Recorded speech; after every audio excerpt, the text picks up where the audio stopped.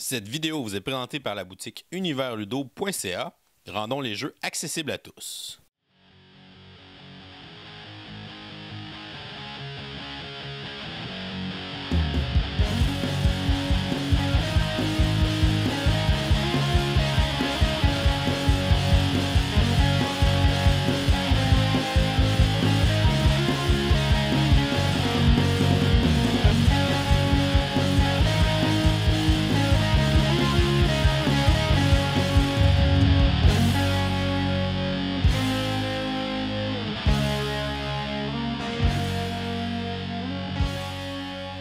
Salut gamers, bienvenue à Board Game. Je m'appelle David. Aujourd'hui, à Board Game 101, on regarde ensemble le jeu Azul, un jeu qu'on entend beaucoup parler ces temps-ci, qui a été édité en 2017 par la compagnie Plan B Games. Ça nous vient du concepteur euh, Michael Kiesling. C'est un jeu qui se joue de 2 à 4 joueurs et les parties vont durer de 30 à 45 minutes. Le but du jeu va être de faire le plus de points possible en faisant une espèce de mosaïque sur un mur avec des petites tuiles de différentes couleurs, là, comme on voit sur la boîte. C'est un jeu où on va aller faire du recrutement de tuiles, du placement de tuiles. On va essayer de les placer euh, d'une certaine façon, essayer de faire le plus de points possible pour pouvoir l'emporter. Alors, Azul, je vous montre comment ça joue, puis ensuite je vous dis ce que j'en pense.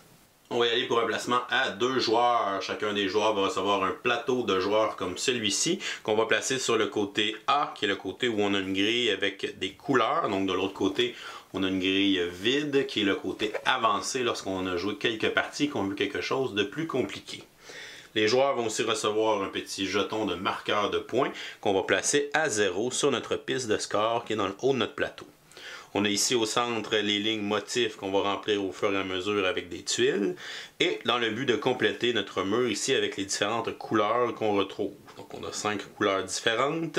Et on a en bas la ligne de plancher où des tuiles vont se ramasser pour nous enlever des points selon les valeurs indiquées. Et on a un petit aide-mémoire pour les bonus de fin de partie pour les lignes complétées, les colonnes complètes, ainsi que les sets de 5 couleurs complétées. On va déterminer le premier joueur, que le dernier joueur à avoir été visité le Portugal. On va lui donner le jeton premier joueur qu'il va placer devant lui. On va ensuite prendre les jetons de fabrique et on va placer un certain nombre sur la table selon le nombre de joueurs. Pour une partie à deux joueurs, on va placer 5 jetons fabrique au centre de la table et les autres seront remis dans la boîte de jeu. Le premier joueur va alors prendre le sac et y placer toutes les tuiles de différentes couleurs à l'intérieur. On va mélanger de façon à piocher aléatoirement quatre tuiles pour placer sur chacune des fabriques au milieu de la table.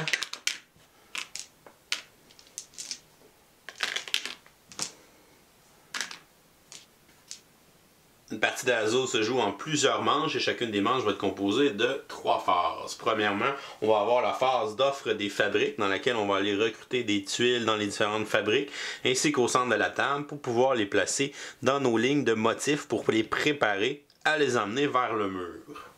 Ensuite, dans la deuxième phase, dans laquelle on va faire la décoration d'un mur du palais, donc les lignes de motifs qu'on a réussi à compléter, on va pouvoir apporter une des tuiles en question sur la couleur correspondante et marquer les points correspondants dépendamment du nombre de tuiles qui vont être adjacentes à la tuile qu'on va placer sur notre mur. Finalement, on va terminer la manche en préparant une nouvelle manche, en remplissant les fabriques la partie prendra fin lorsque, à la fin d'une manche, un joueur aura complété au moins une ligne horizontale sur son mur. On va terminer la manche et on va ensuite passer au décompte final et donner les bonus de fin de partie. Commençons par la phase d'offre des fabriques qui va se jouer à tour de rôle par les joueurs. Premièrement, au tout début de la phase, on va prendre le jeton premier joueur qui est devant le joueur en question et on va le placer au centre de la table. Le premier joueur pourra alors choisir euh, des tuiles d'une couleur dans n'importe quelle fabrique et prendre toutes les tuiles de cette même couleur. Il pourrait prendre ici par exemple les trois tuiles bleues et à ce moment-là, la tuile rouge va s'en aller au centre de la table et il va pouvoir venir placer ces tuiles euh, qu'il vient d'acquérir sur une de ces lignes motifs en respectant certains critères. Premièrement, il doit placer ses tuiles sur une des lignes motifs qui n'a pas déjà été remplie avec cette couleur sur le mur. En début de partie, on n'a aucune tuile sur le mur, donc on a accès à nos cinq lignes motifs. On va toujours placer nos tuiles de droite à gauche, donc je pourrais les commencer à remplir la ligne de motif suivante en remplissant les trois espaces les plus à droite. Il ne peut y avoir qu'une seule couleur de tuile dans une ligne motif. Donc si j'ai commencé une ligne avec des tuiles bleues comme celle-ci, je dois la terminer avec une tuile de la même couleur. Dans un tour suivant, le joueur pourrait prendre les deux tuiles qui sont ici, envoyer ces deux-là au milieu et venir compléter sa ligne avec des nouvelles tuiles. Lorsqu'on va compléter la ligne, on voit que j'ai une tuile supplémentaire en trop. Je ne peux pas la placer sur une autre ligne motif. Elle doit s'en aller automatiquement sur la première case de la ligne plancher qui sera dans le fond une pénalité à la fin de la manche. À son tour de jeu, un joueur peut aussi aller chercher les tuiles qui sont au centre de la table en suivant les mêmes règles que dans les fabriques, c'est-à-dire qu'il doit prendre toutes les tuiles de la couleur qu'il désire. Par exemple, si je voulais la tuile noire, donc je vais la prendre, je vais devoir ensuite aller la placer en suivant les mêmes règles de placement je pourrais remplir ma première ligne de motif en haut. Et comme je suis le premier joueur à aller choisir au centre de la table, je vais gagner automatiquement le jeton premier joueur que je vais devoir aller placer sur ma ligne de plancher. Donc je vais donner le premier joueur pour la prochaine manche, mais ça va me faire une petite pénalité de points. Les joueurs vont alterner des tours de jeu jusqu'à temps que euh, toutes les tuiles des fabriques soient utilisées, qu'il n'y ait plus aucune tuile au centre de la table. Euh, donc on pourrait déposer ça au milieu, prendre les bleus, déposer ça. L'autre joueur pourrait ensuite chercher les deux jaunes et les placer ici. Le joueur suivant pourrait prendre la tuile jaune. Le joueur par la suite pourrait prendre les tuiles noires et finalement le joueur pourrait prendre la tuile bleue, ce qui me laisserait cette tuile-là que je peux placer à aucun endroit présentement, donc elle doit aller automatiquement sur la ligne de plancher. Lorsque toutes les fabriques sont vides et qu'il n'y a plus de tuiles au centre de la table, on passe à la deuxième phase. Dans la phase de décoration d'un mur du palais, les joueurs vont regarder les lignes motifs qui sont complètes. Donc si j'aurais réussi à compléter 4 lignes motifs, ma ligne à 1, ma ligne à 2, ma ligne à 3 et ma ligne à 4, ma ligne à 5 n'est pas complète, elle va rester telle qu'elle et je pourrais la continuer dans la prochaine manche. Les joueurs vont prendre la tuile la plus à droite de la ligne de motifs complète et les avancer sur le mur à l'endroit correspondant à la couleur. Ils vont ensuite marquer les points correspondants pour chacune des tuiles placées sur le mur. Lorsqu'une tuile est placée sur le mur et qu'elle n'a aucune tuile adjacente de chaque côté, en haut, en bas, en haut, elle marquera seulement un point qu'on va indiquer ici avec notre marqueur sur notre piste de score.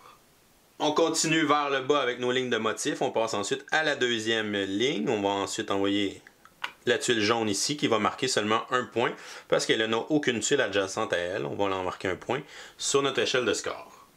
On continue avec la troisième ligne de motif. On a la tuile rouge qui s'en vient ici et qui va aussi marquer un point. Si j'avais déjà placé des tuiles sur mon mur dans les autres manches ici et ici, et que je viens placer ici ma tuile bleue qui s'en vient entre les deux, on va compter le nombre de tuiles qui sont adjacentes, donc 1, 2, 3. Cette tuile-là me marquerait donc 3 points qu'on va marquer sur l'échelle de score.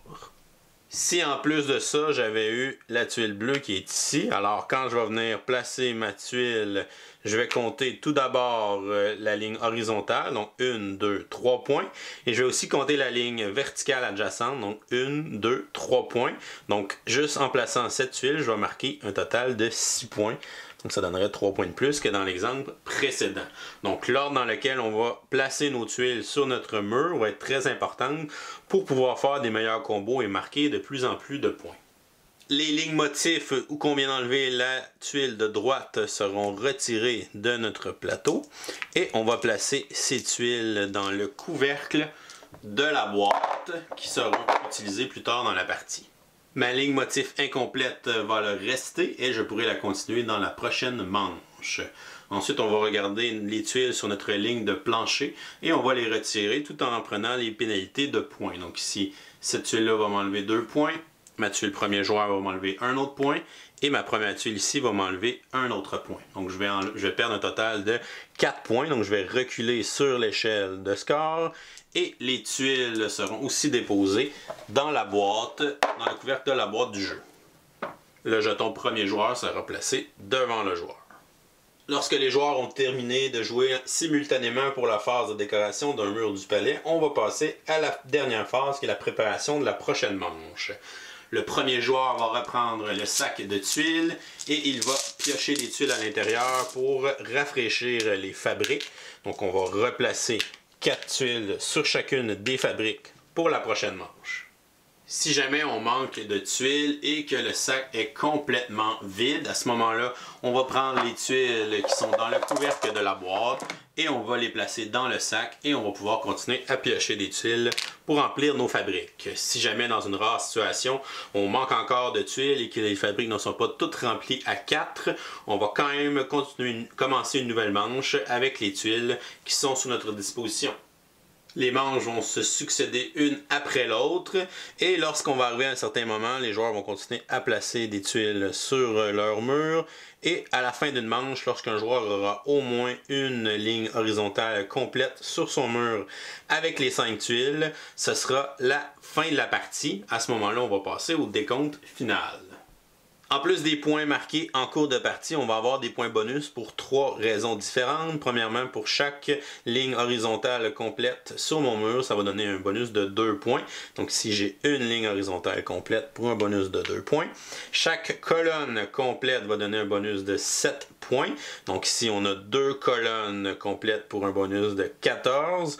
Donc 55 plus 14, ça fait 69 points.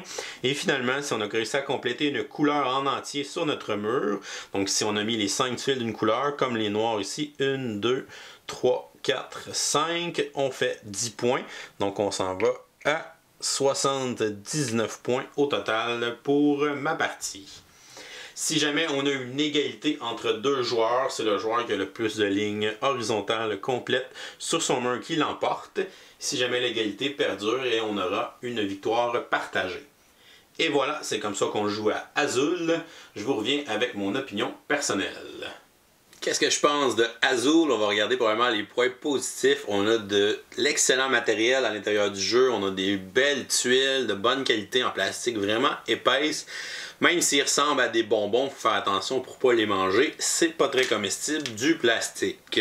Ensuite, le visuel du jeu, donc c'est très coloré, donc c'est très attrayant et tout ça. Même si c'est un thème très abstrait. Donc on a, on a quand même le goût de voir c'est quoi ce jeu-là quand on voit de loin la boîte. Donc c'est très flamboyant. C'est un jeu qui est très simple, donc les, règles, il n'y a pas beaucoup de règles, ça, s'apprend rapidement, mais c'est le genre de jeu simple que j'adore parce qu'il y a une belle profondeur au niveau de la stratégie. Donc euh, il y a beaucoup de choses à apprendre à l'intérieur de ce jeu-là. Donc simple à apprendre, mais difficile à maîtriser. C'est les genres de jeux que j'aime beaucoup d'habitude. C'est un jeu qui est rapide, donc les tours de jeu sont très fluides. Donc on, recrute euh, nos tuiles, on prend des tuiles, on les place, on prend des tuiles, on les place. Donc ça revient rapidement à nous. Et euh, dans la deuxième phase de jeu, ben, on joue tout le monde en même temps. Donc à ce moment-là, le, tempo de la partie est très rapide. Donc euh, ça, c'est vraiment le fun. Ensuite, c'est un jeu où il y a quand même des belles interactions entre les joueurs, mais des interactions qui sont indirectes. Donc il faut être vraiment à l'affût de ce que nos adversaires ont. Et plus la partie avance aussi, plus on devient limité dans ce qu'on peut prendre comme tuiles, parce qu'à un moment donné, notre mur commence à être quand même bien complété. Donc, il y a des couleurs qu'on peut plus placer à certains endroits. Alors, ce qui reste à la fin des manches, il ben, faut être très vigilant pour pas être pris avec un paquet de tuiles puis les placer sur notre plancher puis perdre beaucoup de points. Donc, c'est vraiment le fun d'avoir la stratégie qu'il faut aussi surveiller les autres. des fois, je pourrais faire un coup qui est un peu moins bon pour moi, mais ça va faire que mon adversaire va être obligé de placer 5 tuiles en bas dans son plancher, il va perdre plein de points, donc ça peut valoir la peine d'être fait. C'est un jeu aussi qui s'adapte très bien au, nombre de joueurs. Donc le jeu se joue de 2 à 4. Donc à 2, à 3, à 4, j'ai vraiment aimé l'expérience. Puis j'ai presque même une préférence pour euh, à deux joueurs. Donc à deux joueurs, ça devient presque comme une partie d'échecs où il faut prévoir un petit peu nos coups à l'avance. Parce que bon, si je prends telle couleur, euh, lui il va vouloir me laisser ça, il va prendre cette couleur-là. Donc euh, les réflexions sont vraiment intéressantes. À 3 et 4, c'est aussi le fun, mais par contre, c'est un peu plus dur de prévoir qu'est-ce qui va se passer parce que bon, c'est dur de lire trois trois autres joueurs, là, tandis qu'à deux, ça fait vraiment un, beau duel de stratégie, donc vraiment le fun pour ça. On a aussi une belle variante dans le jeu, donc notre plateau de joueurs est recto-verso. De l'autre côté, votre mur est gris, donc on n'a aucune couleur euh, qui est préétablie, donc c'est pour laisser le libre choix aux joueurs de faire leur propre mur. Par contre, on a les mêmes restrictions, un peu comme un sudoku, donc on chaque tuile d'une couleur. Donc si je place un jaune ici, ben à ce moment-là, je pourrais plus mettre de jaune dans cette colonne-là, je pourrais plus mettre de jaune dans cette rangée-là pour pouvoir respecter le fait qu'on ait les cinq couleurs dans chaque rangée et chaque colonne. Donc ça devient encore plus un gros casse-tête, donc ça devient un peu plus compliqué. faut penser un peu plus, réfléchir un peu plus comment on va placer nos affaires sur, euh, ce côté-là. Mais c'est quand même quelque chose qui peut être intéressant une fois que vous avez joué beaucoup de parties et que vous voulez euh, quelque chose de différent. Mais ça va par contre casser un petit peu plus la tête à ce moment-là. Le jeu est bilingue français-anglais, donc il y a le livret d'instruction, on a les deux qui sont disponibles à l'intérieur, donc il n'y a pas de problème à ce niveau-là. Puis comme vous voyez dans le jeu, il n'y a aucun texte, donc une fois qu'on sait jouer, ben, il n'y a pas de problème. On est capable de jouer.